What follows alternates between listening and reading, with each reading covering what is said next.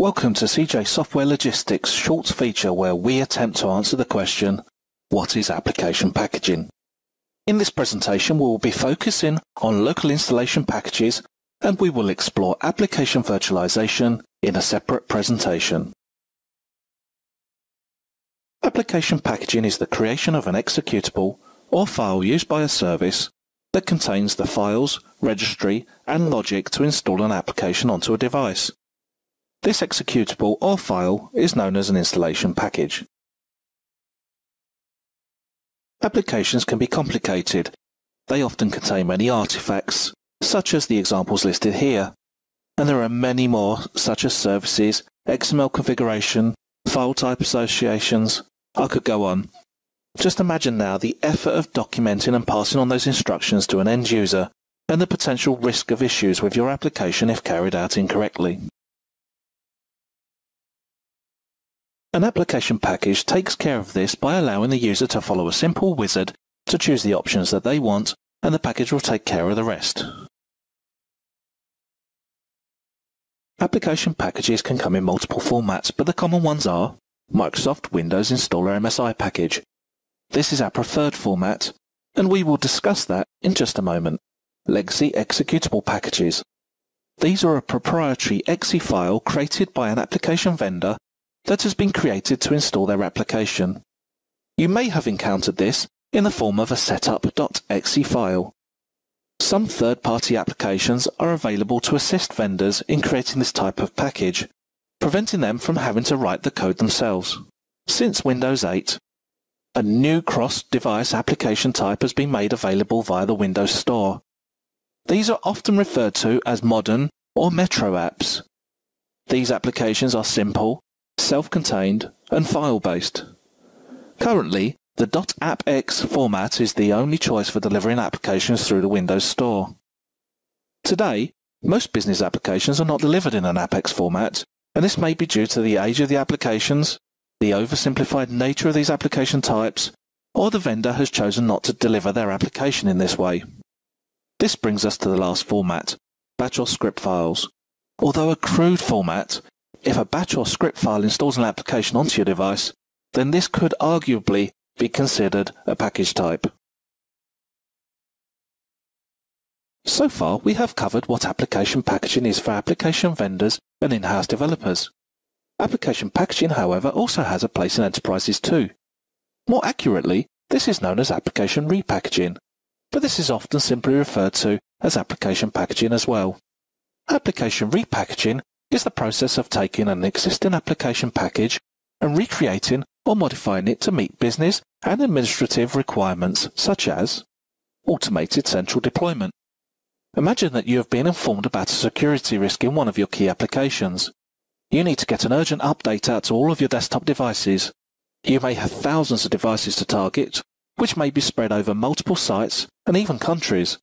You cannot afford the time to go along to each device manually running through the installation on each one. So your installation package has to be made centrally deployable and without user interaction. Application configuration. Lots of applications require configuration to make them work. That may be beyond the capability of your users, such as entering server details or pointing to a central document template location. Application packages can be authored to automatically pre-configure your applications. Automatic licensing. This is not always possible, but in some cases, where a volume license is available, application packages may be able to pre-enter license information for the end user. Standardization. Your business may like to have a consistent look and feel to your end user applications. For example, lots of applications like to compete for space on the user's desktop, cluttering up the workspace. You may choose to remove all desktop shortcuts and opt for Start menu only shortcuts. Another example may be that you stipulate, where possible, that applications are not to automatically update themselves to allow you to implement change control processes. Convert legacy packages. You may want to convert a legacy package for the following reasons. Legacy packages come in unlimited shapes and sizes. These package types are constrained by whatever command line parameters that the developer has provided. It is possible to have a legacy package that does not follow best practices, such as overwriting shared files or system files. It may not be possible to deploy the package centrally because it will not run silently. Legacy packages often do not benefit from the multitude of features available to Windows Installer.msi packages, which we will discuss in just a moment. On all Microsoft Windows operating systems, starting from Windows XP and Server 2000 Service Pack 3, there is the Windows Installer service that is associated with the .msi file type. An MSI is a simple database containing files, registry and instructions that the Windows installer needs to install the application onto the device. Some of the benefits of using a Microsoft Windows installer package format include Microsoft Windows Native Installation Format. All recent versions of Microsoft Windows has the required Windows installer service and is the way in which Microsoft recommends that you install your application to work with their operating system. Basic Windows installer packages do not require you to write code and is a stable package format with community support. The Windows installer has most of the standard installation functions that you would require and there are many toolsets available to create this package format.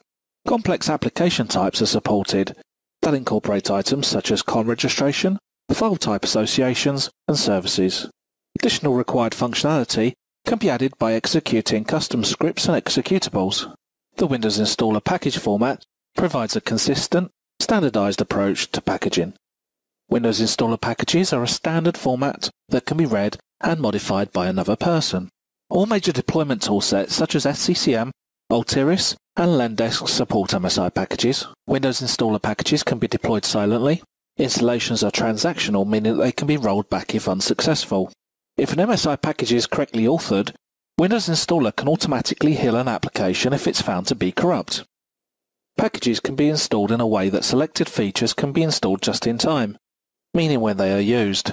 Shared components are respected and are only removed if the last application that requires them is removed. Older version files do not automatically overwrite newer ones. And finally, the Windows Installer service provides extensive logging capabilities.